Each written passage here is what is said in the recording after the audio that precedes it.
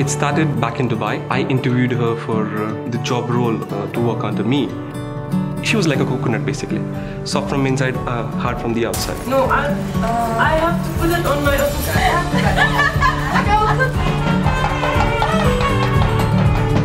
One moment, we decided to go out to the beach after work. He looked at me and he was just like, I'm addicted to you.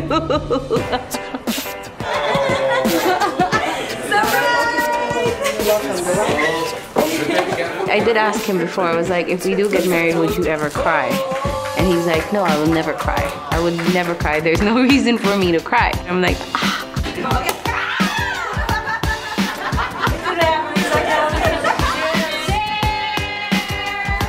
What I know from this past three years is that she's a carefree person, but at the same time, she's always very concerned for me. True love for me is somebody who really cares. I always, always looked up to him. The way he takes care of me, the way he takes care of his family, all his dogs. He's the description of true love. Me delata la mirada. Hacerme el tonto para casi a mí no me importa nada. Prefiero vivir y perder que no haber vivido